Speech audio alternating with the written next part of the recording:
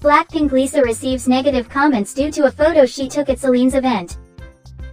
At the moment, Blackpink is preparing for their headlining acts for Coachella 2023, on two dates, April 15th and 22nd.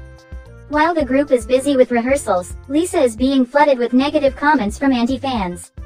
Specifically, recently, BTS Versus posted photos on his personal Instagram page with a simple smiley emoji as caption.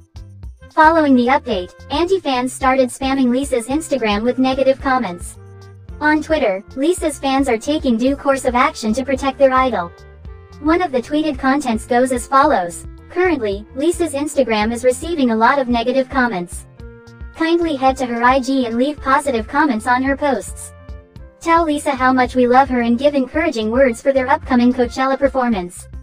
At the same time, a video clip showing a part of Blackpink's rehearsal is gaining traction on social media.